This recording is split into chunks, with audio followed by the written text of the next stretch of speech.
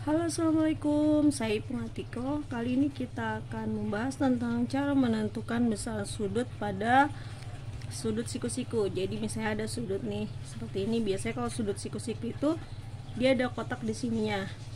Kalau tidak ada bisa kita mengukur seperti ini.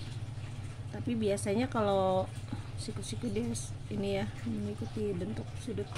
Tapi biasanya kalau uh, ada soal gini dia bentuknya uh, besarnya pasti siku-siku. Jadi serat uh, kalau siku-siku berarti 90 derajat ya.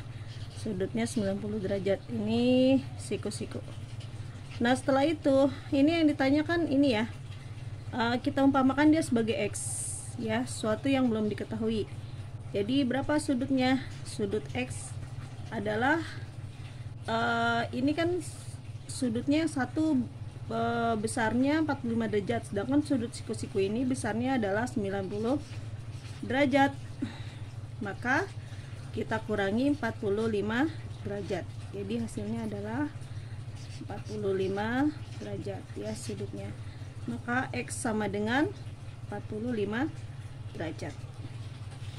Untuk soal yang kedua ini sama sudutnya siku-siku juga berarti 90 derajat ya ditanya ini uh, kita umpamakan sebagai A.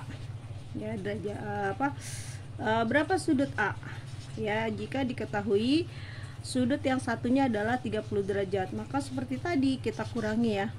90 derajat ini dari sudut siku-siku atau sudut keseluruhan ya dikurangi 30 derajat. Berapa?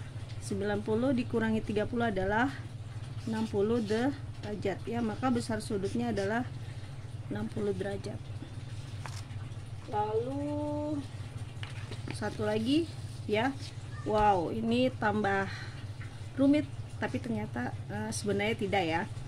Sama seperti tadi uh, awalnya yang harus kalian pikirkan um, sudut keseluruhannya. Lihat sudut keseluruhannya jangan lihat dari complicated masalahnya tapi lihat sudut keseluruhannya. Sudut keseluruhannya yaitu 90 derajat. Ya. Sudut keseluruhan 90 derajat. Ya yang ini. Setelah itu uh, ini kita umpamakan sebagai apa? Sebagai X boleh lah. Sebagai X ya. Berapa X nya sudut X ini.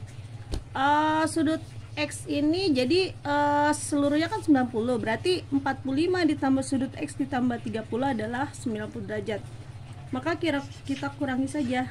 Pertama 90 derajat kita tulis sebagai sudut keseluruhan.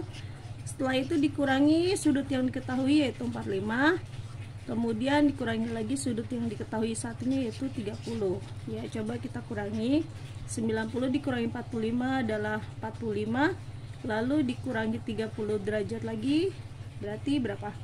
Ya 15 derajat. Berarti besar sudut X adalah 15 derajat. Oke teman-teman demikianlah um, pembahasan tentang menentukan sudut. Semoga bermanfaat. Wassalamualaikum warahmatullahi wabarakatuh